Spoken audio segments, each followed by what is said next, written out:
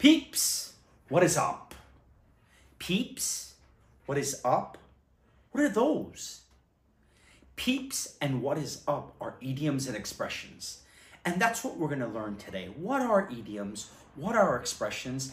And why do us Americans love using them?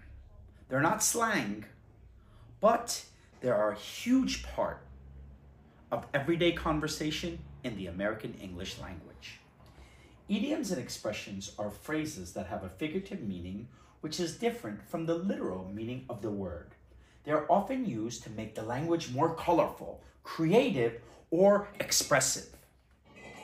For example, the idiom a piece of cake, piece of cake, means something that is easy to do, not an actual cake.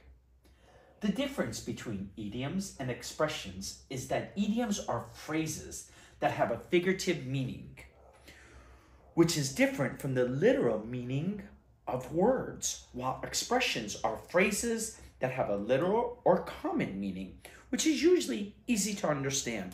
For example, break a leg is an idiom that means good luck, while have a nice day is an expression that means what it says.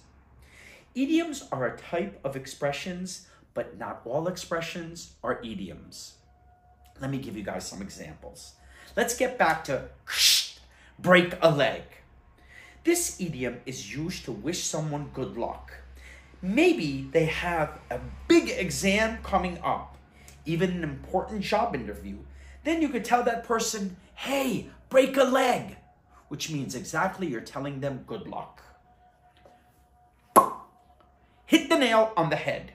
This idiom means to be exactly right, especially when expressing an idea or an opinion. You know, Steve's opinion about investing money in Microsoft really hit the nail on the head. He was right when pigs oink oink fly? Yes, when pigs fly is a great way to say something is impossible or it's never going to happen.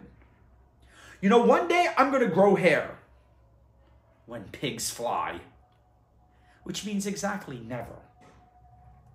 Now, let's talk about some expressions.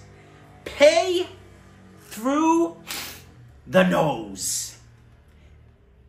Through the nose. Now, this expression means to pay a very high price for something more than it's worth, or maybe even more than you can afford.